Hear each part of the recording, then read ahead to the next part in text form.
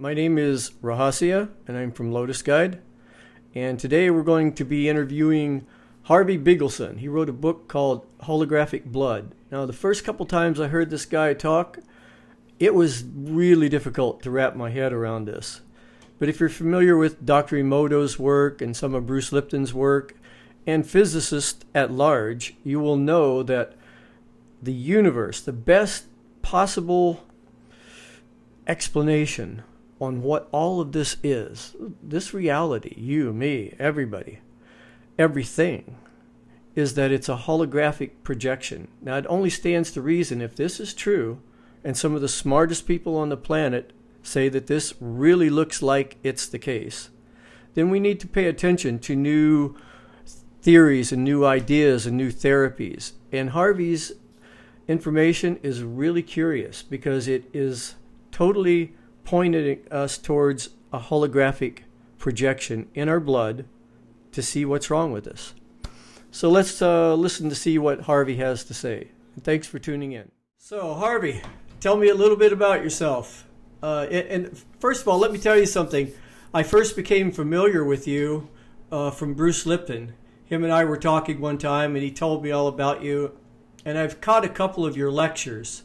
So it's I'm a little bit familiar with your work, but uh, tell us a little bit about yourself, a little bit about your history, and eventually I would like to sort of open this up to the holographic universe theory in general. Okay. Okay. So okay. tell me a little bit about yourself. Well, I am an MD. Uh, I was a trauma surgeon in Vietnam. Uh, I gave up traditional medicine, oh, in the mid 70s because I got really frustrated uh, that only using pharmaceuticals and surgery. And I started to look for other answers. I started to look for natural medicine and how to really help and improve the body. And that's been my work for a number of years now how to regenerate the body. Uh, I started, I was sponsored by a private foundation about 30 years ago to go to Europe to see what they're doing. And we ended up in outside of Quebec at a French Canadian physicist's uh, office, Gaston Naessens, who had a microscope that he looked at the live blood. And I've never seen the live blood. I'm only the third American in U.S. history that's actually looked at a drop of blood under a microscope without staining it, that was living. And there were things that were moving in the blood that just blew me away. There was no name for it in American literature, lots of activity in the blood. And I knew it had to be important, okay, because uh, you know, this is the blood, this is the life of the body. So I got myself a microscope and I started to look at it and study it. And I found a German physician that worked on an Indian reservation that was doing this type of work. And my son had acute mononucleosis at the time. He was going to go off to school on Saturday. On Monday, he had 104 temperature. His tonsils were green, swollen, shut pus. His liver enzymes were abnormal, and he had positive mono test. Well, mono is a six month disease. We figured he couldn't go to school, but we called this German doctor down, and he had a microscope and he studied the blood, and then he took out his magic penicillin, injected my son into his tonsils, and told, and then he took some blood out, mixed it with a remedy, and injected it back into his butt, and he said, "Okay, now he can go to school." Well, we were stunned at what he was talking about. And the next day, though, however, my son woke up. He sweated up all night long. Next day, he had no temperature. His tonsils were 70% pink. Day after that, they were 100% pink. On Friday, his white blood count was 6,300. His mono test was negative. His liver enzymes were normal. He off to school. He went on Saturday, and I called that German physician out and said, "Okay, you've got to teach me what you know how to do." Right. And that started my journey of looking at the live blood and understanding what that's about.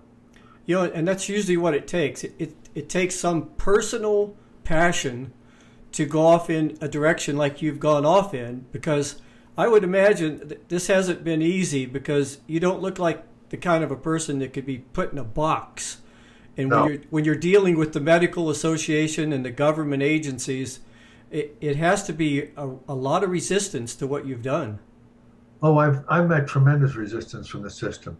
In fact, uh, I, I, wrote the Arizona Homeopathic Medical Practice Act, allowing MDs that were being persecuted for alternative medicine to go under their own licensing agency.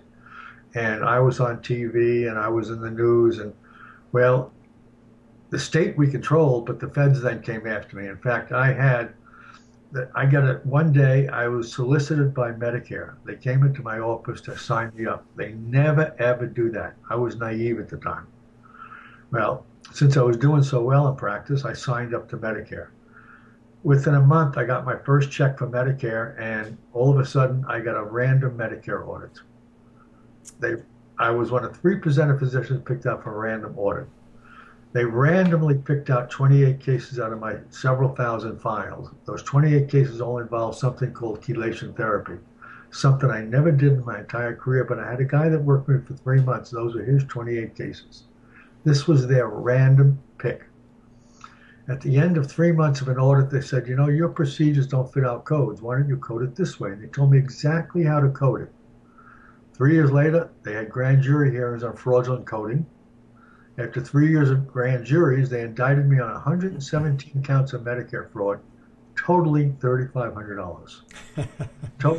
the lowest indictment in U.S. history. At the same time, Senator Bill Frist opened up a series of HMOs, and he got a Medicare fraud misdemeanor for $1.7 billion, which he paid off in two checks. I got an indictment for 3500 It would have cost me up to a million dollars just to defend myself so we plea bargained to $145, and I had to give up my licenses and get out of the country.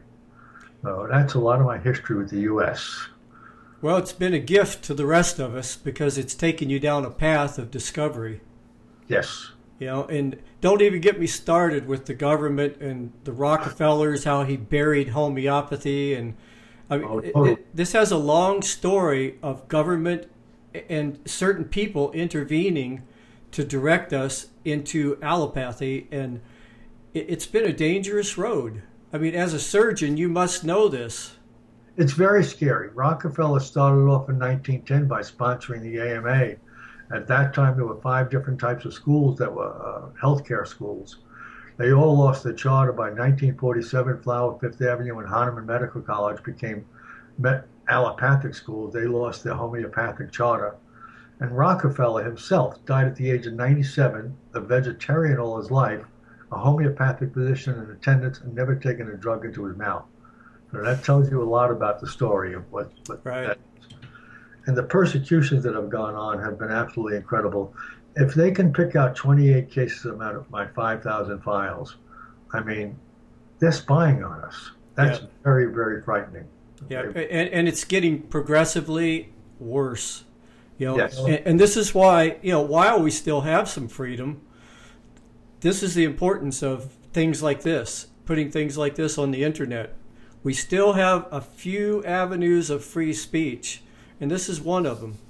So tell me, uh, what what is the difference between traditionally looking at a drop of blood and do you do what is it dark field I do dark field analysis. Right, right. But some people do something called live cell analysis, which is a lot of baloney out there you can learn in a weekend. It took me several years with two different German practitioners as an apprentice to them. I can take a drop of your blood and I look at it in the dark field microscope. And when I look at it, there's a lot of things that are moving around, a lot of activity that there's no name for in American literature. There are little things that move around, and you can see some of my videos on, on the internet. These little things moving around. The Germans call symphritites or symbionts, The French call somatids, and the Americans have no name for them. And those little things, they carry the chi, the ki, the prana. They actually carry the life force of the body. They're pieces of protein that can develop into bacteria, into fungus, depending on the pHs and the media and, how, and the cultures are. There is a French Canadian physicist that I first saw with Gaston Naessens. He actually isolated these little guys, grew them in a jar, and he took a dead rat muscle and he injected it to the dead rat muscle. And 30 years later, that rat muscle is still beating in a jar. Okay. Yeah. And there's no concept in American stuff. Americans, they remind me of the moron that lost a quarter on the dog night, looked two blocks down the street because that's where the street lamp was. Know, I was had chief of hematology from Tufts New England Medical Center in my clinic, and he refused to look at the blood. He said, "Why would anyone look at the live blood?" It's the chief of hematology of a Boston medical school. Refused to look at the blood. His curiosity was astounding. Yeah, th- this sounds like it would be a good base of understanding for looking into why people are even sick because I remember Bruce Lipton telling me, he says, one of the things wrong with medicine today is it's so highly specialized and complex and compartmentalized that nobody's connecting. And everybody can connect with blood. The name of the game is a name today in medicine. You got to put a name on it, right. puts in a box, and then you open up the box and it tells you what to do. American medicine hasn't found the cause or the cure of one chronic disease in 100 years. Well, what makes these experts on TV? How can you be an expert if you're a 100 year failure? Do you know how low we rank in the World Health Organization? We're number 37 in the World Health Organization. French are number one. Okay. What makes us so good? There are countries ahead of us, if you look at look up the World Health Organization, that you've never heard of. And they're ahead of us in healthcare. I, it's I, amazing. It's brainwashing. Yeah, we, we have a lot of friends. My wife is from Brazil, and we have a lot of friends in South America and Europe. And it's amazing when you get out and travel to see a few things. One is how our news, our media news, our corporate news is so filtered down. Yes. But our public services, e- even public transportation, is so poor compared to some countries that it's incredible. We had some friends come back from Holland last week. They went to the Alternative Energy Conference, uh-huh. and they uh-huh. came, they came back and they said, "My God, how these people are so healthy." I, I said, "Well, yeah, they're they're probably just not obese." He, he said, "Yeah, they all ride bicycles, and you see them riding a bicycle with their briefcase and their uniforms on. They're into it, you know." Oh, let me just look at the French. The French eat like crazy, drink like crazy, smoke like crazy, and they're thin as rails, and they live five to eight years longer than us. Yeah. look at us.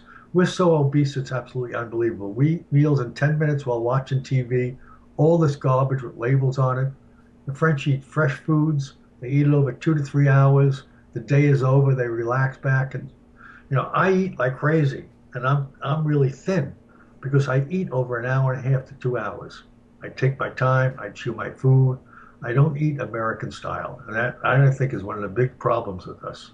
Yeah, we the first few times we went to a restaurant up here, uh, we were sitting with my wife, and the the waitress keeps coming up and say, "Are you still working on that?"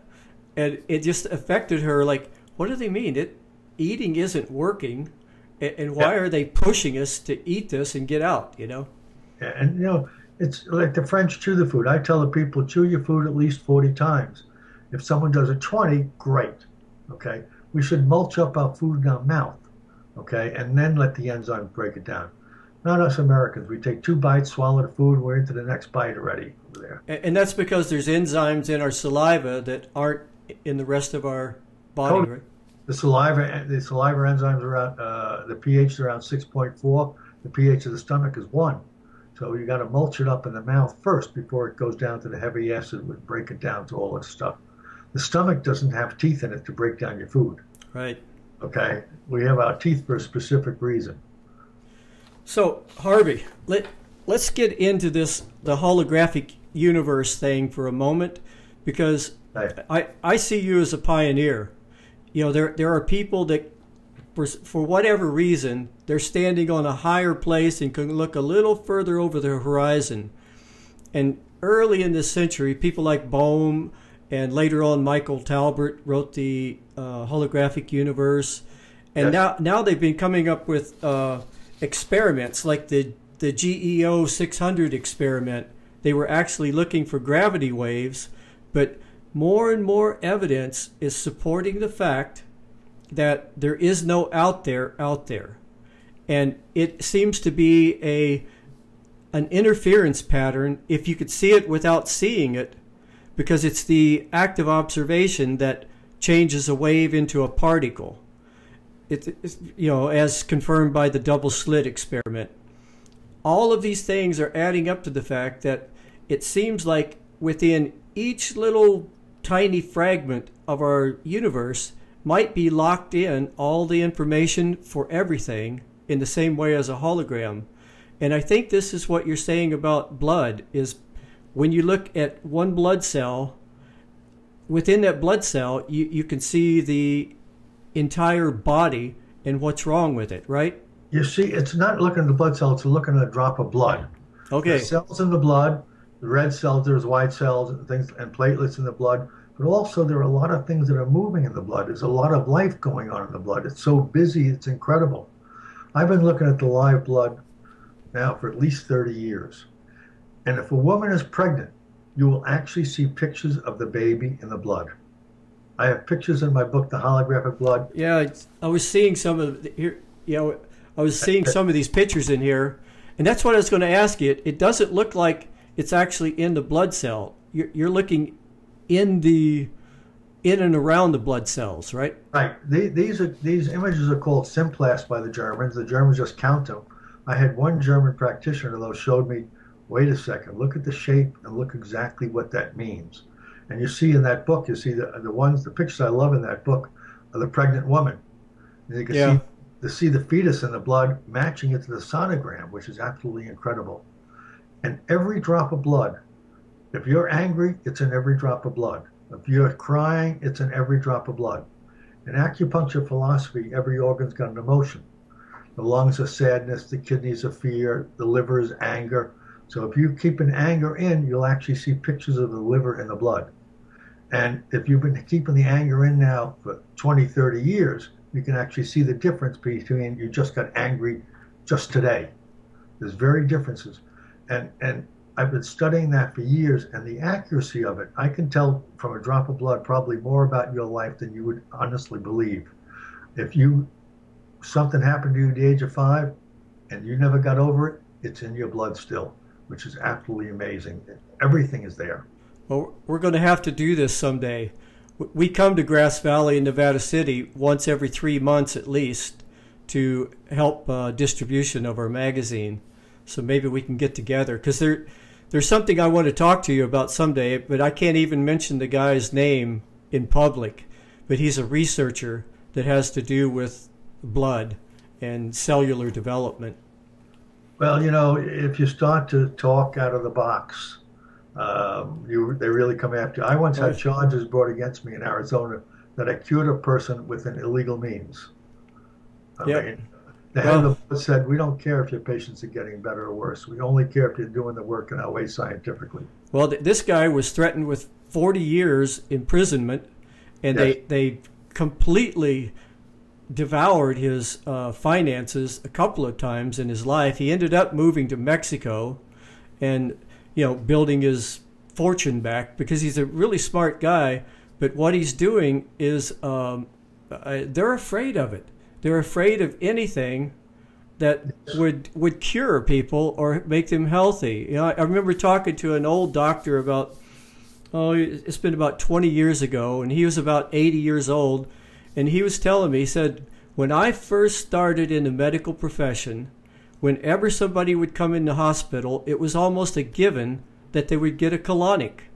But the American Medical Association found out that people were getting healthy too quick from just, just having a colonic, so they stopped doing that. Not uncommon, you know. I, I love China best of all. You know, China, the physician is paid to keep you healthy. Right. A- And if you get ill, the doctor must make house calls, daily house calls, until he gets you back into the workforce. Yep, that's the way to do it. That's are. We have a total different system. You, everyone makes money on disease, so the sicker you are, the more money everyone makes. That's the name of the game. And again, I'll curate is zero. Zero. I've held that challenge out now for at least 20 years. Can anyone name one chronic disease that American medicine has found a cure for? And the answer is zero. So what makes you an expert if you're at 100 year failure? Yeah, it's it's crazy. We have a friend that's getting ready to do chemotherapy, and you know, I I can't really make a decision like that for them, but just the fact that chemotherapy, I, I'm not sure if it's ever cured anybody. Well, you know, I I don't throw the baby out with the bathwater, but I can use chemo in certain ways. But cancer's a mold. They think it's cancer is one cell that goes wild, grows into a tumor, and then breaks off and gets through the blood vessels and goes different places. Well, breast cancer only goes to the bones because it's a mold that feeds on calcium. When they gave women all this hormonal therapy for menopause, and then they gave them calcium for osteoporosis, they skyrocketed breast cancer. You can actually measure cancer by the pHs of the body. The, the, the cells are too acid. The blood is too alkaline because it's dumping alkaline wastes. And there's poor oxygen. And when you have it set up like that, cancer will develop. Doesn't it seem to have a lot to do with inflammation too? Inflammation is a, inflammation is the key to chronic disease. If I cut you, the body will heal will heal itself by creating inflammation to heal it. Okay, you injure yourself, the body creates the inflammation to heal it. However, the biggest problem is what I call trapped inflammation. I do surgery on you, the body's now going to try to heal it, but now there's a scar in the way, there's adhesions in the way, and the body can't get at it. So the body's like a wind up toy that keeps on bumping against the wall and slowly burns itself out. Trapped inflammation is the biggest cause of chronic disease. Lyme disease today, it's rampant. They, they, it's epidemic. They blame it on a germ. It has nothing to do with a germ. 80% of my patients with Lyme disease have had some type of surgery in the year before. And surgery is, I, I look at the body like a eight cylinder car built by God. Well, they took two or three cylinders and threw it away. So now you got chronic fatigue. You're getting 10 miles to the gallon instead of 20 miles to the gallon.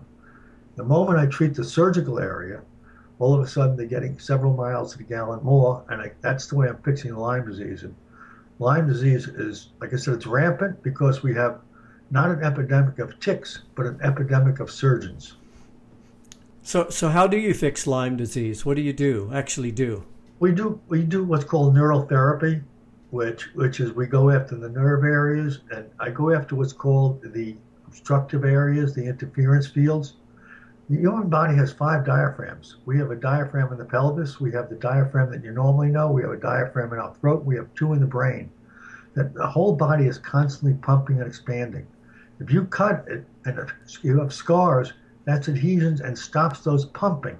The first thing I do is get that body pumping again. I treat the scars. I treat the nerve roots called neural therapy. We actually go in and treat the nerves that are feeding the tissues to try to liven them up. And then we do osteopathic manipulation. We start to get the body opened up and pumping again. And as soon as we treat the scars and get it pumping again, lo and behold, the patient's working on now more cylinders and they, they feel better almost instantaneously. The blood, I take a drop of blood beforehand, I take a drop of blood afterwards. You can see a change. And the patients are sitting there in the office next to me saying, Am I really feeling that much better, doctor? Yes, you are. Yes, you are. And it's, you know, if you think about what's the biggest injury you can have, someone putting a knife into you. Yeah. Just because it's done under anesthesia, you know, if I cut your gallbladder out behind 7 Eleven, you knew how you had a problem. But doing the OR, you think, oh, no big deal. Yeah. It's a big deal. The body doesn't recognize whether it's behind 7 Eleven or it's in the OR. It knows it was stabbed and cut. Yeah, I, have been pretty lucky myself. I, I was in a fire once, which was the only time I was in a hospital, which was one of the good times because they did skin grafts and all that. But it took me. Is good. Yeah, it took me a while to get over that, and, and it made me realize that that there is an important balance. That's I guess that's why we should call it complementary medicine to be a little more palatable to the allopathic people. But there's a time and a place. If you break a leg or something, you know, there's a time and a place for that. Yeah, that's that's what I call crisis medicine. And I don't throw, like I said, I don't throw the baby out with the bathwater. You know, and integrated medicine, I can integrate them, but they can't integrate me. Okay, they look at me as an outcast, and anything I'm talking about, why would anyone do that? But I understand their medicine. I understand acupuncture philosophy. I understand osteopathy. I understand a lot of different things. Traditional medicine only understands pharmaceutical treatments and surgical treatments. That's all they're taught. So, it, look, you know, when I look at what you've done almost by yourself, you know, what do you think is the future of this if it would actually open up and we'd get funding and where they would give grants to young medical students to look into what you're talking about. Where where do you think the ultimate place is that this is headed towards? Well, I think the future is is going to happen very soon. I'm really I'm setting up a program that if you had a microscope, I'll be able to view with you. You'd be able to go into the database that if you had a hepatitis C case, you can be able to look at who else is doing what with hepatitis C. I want to set up an international, I call it an international educational and research foundation without walls. I think looking at the inner life is going to be the future.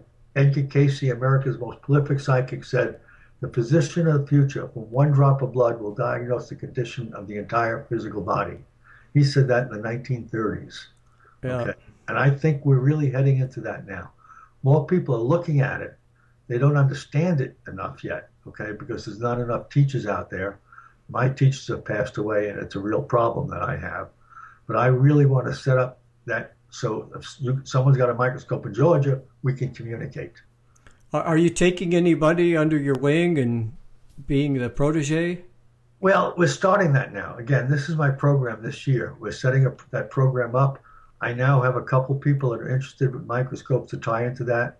I will be teaching a class at this BioMedx, uh, B-I-O-M-E-D-X. They sell they sell the best microscope in the country. In March, I will be teaching a class on people how to look at the look at the microscope and understand the holographic nature of the being, and then, most importantly, how to look at the blood and how to manipulate the blood. And my teacher said, always remember, if I can manipulate the blood, I can manipulate you. Right. And with my remedies, I use a lot of live germs for remedies called isopathic remedies. I have a live form of penicillin that if you had pneumonia, we'd knock it out of you within a, within a 24 hours on you. I have remedies that if you had a heart attack, we can open up open up the circulation, make a red cell so elastic and so smooth it'll squeeze through the tiniest capillary and open up the circulation. I've broken heart attacks right on the spot, and I've had cardiograms to prove that too. Yeah, this is pretty amazing, Harvey.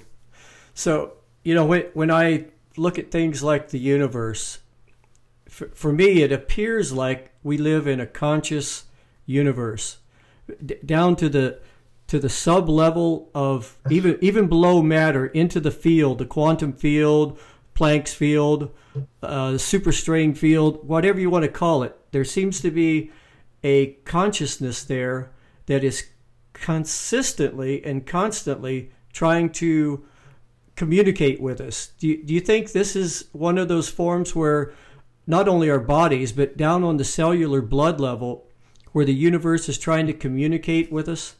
Oh, without question. Without question, it's all tied up in there. Uh, we're affected. The change in the weather will affect us. The universe is affecting us. You know, your emotions will affect us.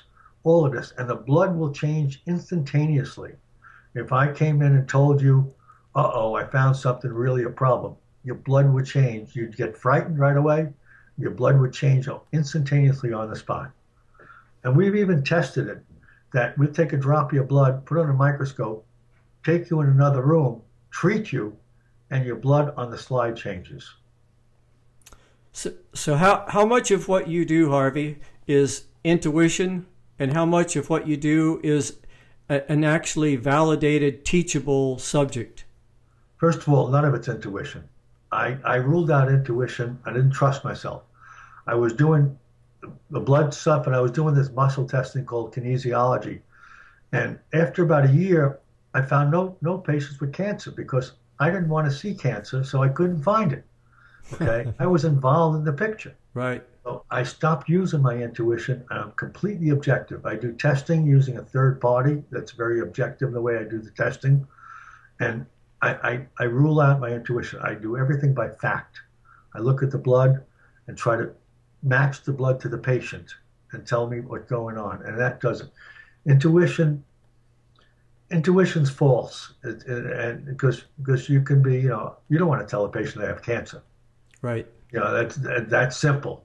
Okay, so I do not use intuition. I use pure fact. If I can't figure out something, you'll hear me mumble under my breath. Right. Okay, what's going on? What's going on? And I'll get frustrated until I figure it out.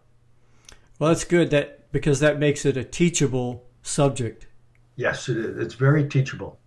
It's very teachable, and my goal over the next two years is, you know, I wrote the book on it, but now my goal is now to teach people over the next two years, and link us up to have that international network without walls that we can all link up on microscopes into the same databases, so you know you can figure out who's doing what for hepatitis C. You know, someone in Brazil is doing hepatitis C. It's got a microscope, and you can figure out right there they got what they've done, so you can get ideas. That's a communication. And then I want to hold webinars that way too. That's we're going to set that up. So, well, if you had a microscope, you had questions, Let's view your microscope. Let's everyone else view it, and let's ask the questions, and let's see if we can brainstorm it. You know, the problem is, like I said, my teachers have passed away, so we have to brainstorm a lot of things, and I want other minds into it because I don't have the I don't have all the answers. Yeah, no, nobody does. Nobody does. Nobody does. But well, it's, it's the new beginning. Looking Yeah. at the blood to me is, is you're looking at the actual life in action. Okay? And that to me is that's the future. Well, I'll, I'll get some important links from you to include in this information in the article and all that, and uh, we'll see what we could do about helping you in any way we can, Harvey. Good, because because like you said, Lyme disease now is an epidemic, but it's not an epidemic by ticks. You know, I've got now enough proof that it's an epidemic of doctors doing too much surgery. Yep. You know, to me, you got to look at surgery as an attack with a knife. You know, if you look at it, it's a legal attack with a knife. If you look at it that way, you're going to really question. Wait a second. Do I want? Uh, I want my prostate taken care of. Do I? The woman say, Do I want that hysterectomy?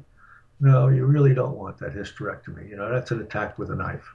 Yeah, and it's usually your body just trying to tell you something to get you to pay attention. That's what it is. That's what a symptom is. You know, if you have diarrhea, what medicine does today, if you have diarrhea, they stop it up. Well, that's crazy. The body is flushing it out. It stinks. It's awful. Why would you want to stop it up? Help I body clean it up. You know, Right. you know. I could tell you some stories about that, but it's a little too uh, colorful. Well, we have a long human history of killing the messenger, you know, so yes, yes. And we blame everything on the germ, and it's not the germ at all. It's the stagnant pond that the germ is living in. That's the story. It's not, you know, we are just germs that have organized into a physical body. You know, we're just germs. We have billions of germs in us. All of a sudden, we say this one germ is nasty and the other couple billion are fine. right. on, give me a break. you know, look at the rationale behind it too. You know, but it's the whole germ theory. Even Pasteur, who came up with it, on his deathbed recanted and said he was wrong. It's not the germ, but it's the terrain, the body it lives in that counts. Right.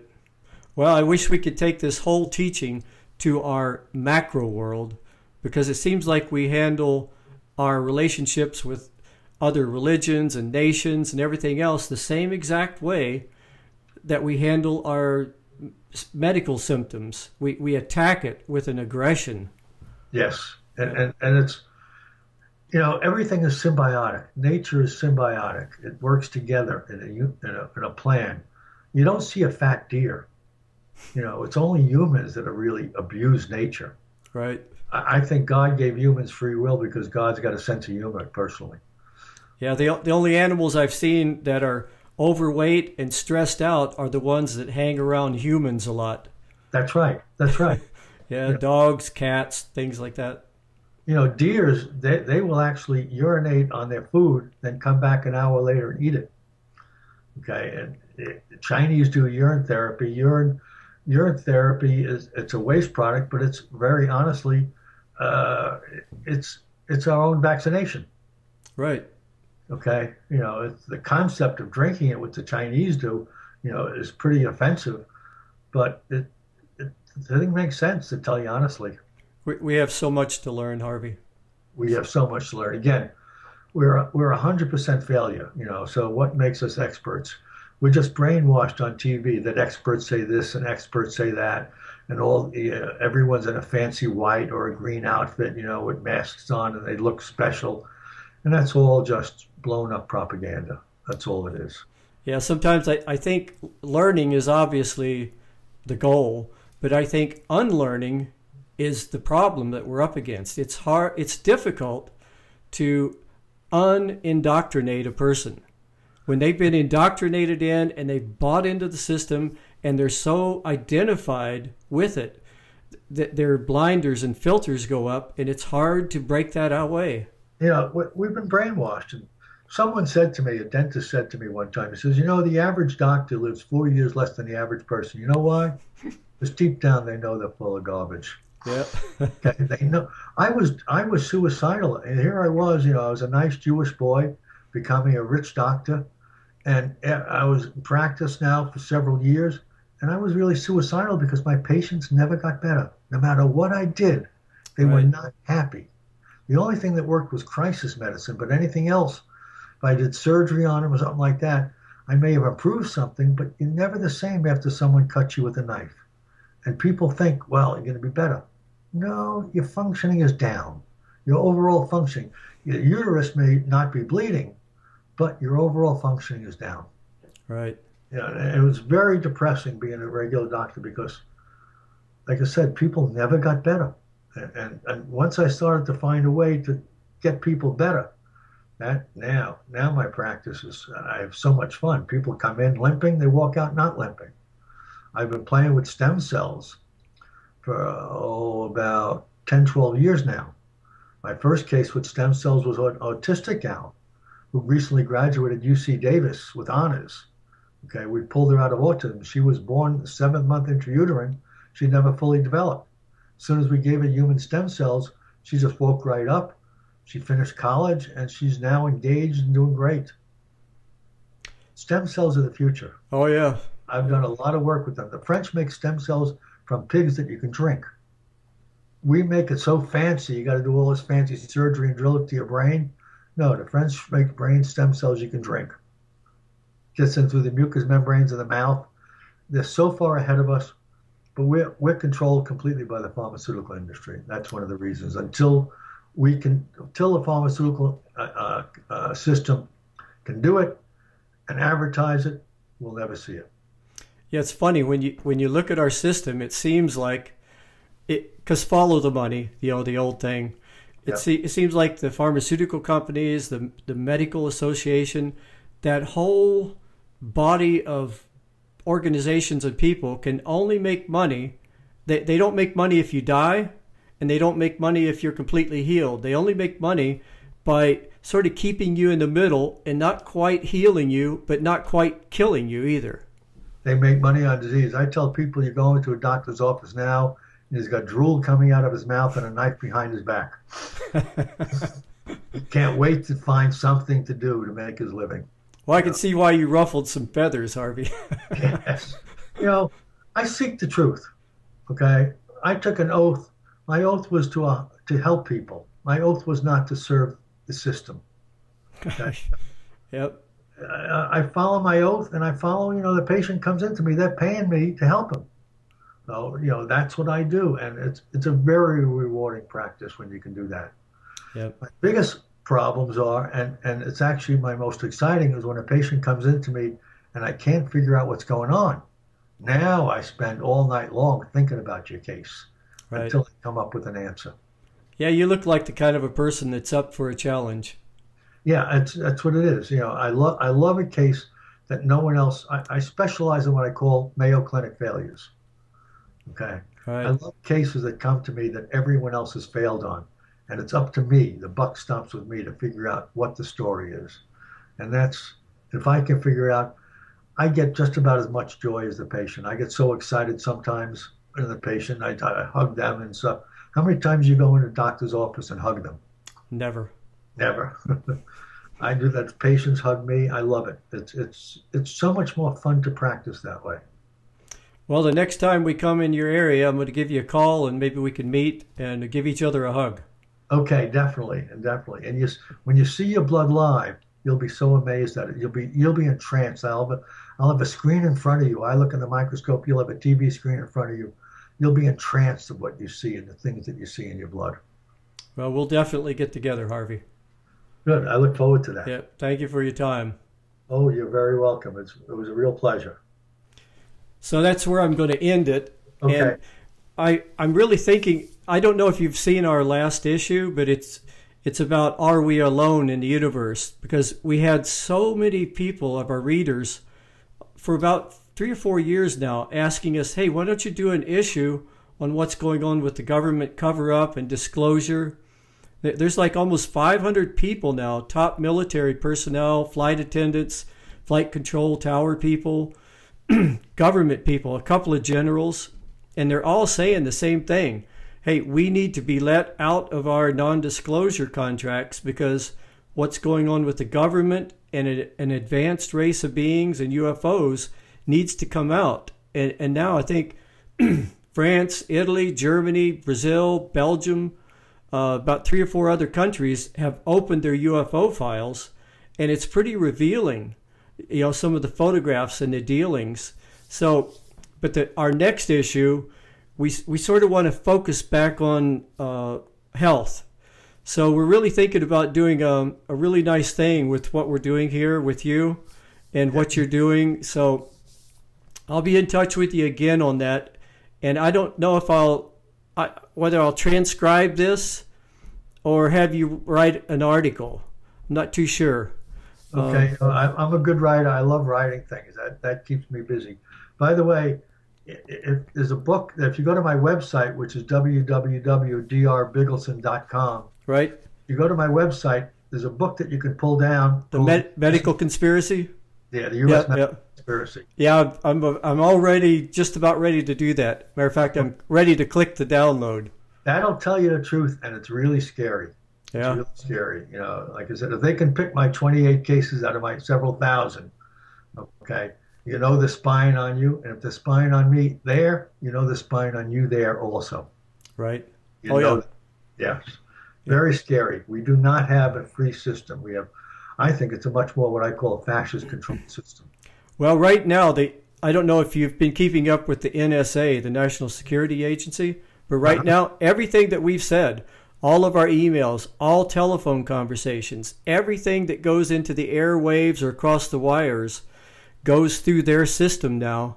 And when you see a picture of their of their computer array, it it like starts out and disappears off into the distance, row after row after row after row. And they're not only recording everything, all text messages from students and teenage everybody, but they're archiving it. Oh, so everything is being said, and they have these algorithms that can go in there and pick out words or phrases or even slight intentions that are people talking about something. That doesn't seem like they're talking about what they're talking about. It can even pick those out.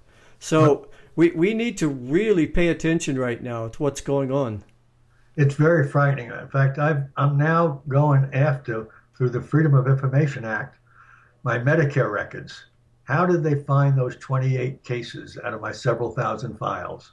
It's got to be there someplace unless they burn the records. But I, I'm sure they're not bright enough to burn the records as much as they're archived them. So yeah. I will know in a short period of time the exact story of why they came after me and how they came after me. Well, that'll be an interesting one to find. That'll be very interesting. I'm very excited about the potential of that. Yep. I'd be very disappointed if those records were destroyed. But I, well, you, know, you would be surprised what they don't destroy. That's what my thinking is. Yeah, I, it's, I they're too omnipotent. Yeah. You know that they wouldn't think of destroying them because they, they're just that omnipotent. Right. All right, Harvey. I'll let you get back to your day. And, okay, it's a real pleasure. Again, thank you very much. Oh, you're very welcome. I enjoyed the heck out of it. And uh, the person that's working with you, Justin. Yes. Yeah, he, he's really cool, man. He he he did a lot, and he's really uh, a personable person to have working with you. Justin, been he's we've been together for oh probably about thirty years. Really, he knows my work and he's a good promoter of it because he really sees the truth. Yeah, he he was right on top of this. Yeah, All excellent. Right. Okay. Okay, you take care. You too. Okay, bye bye. Have a good one. Bye.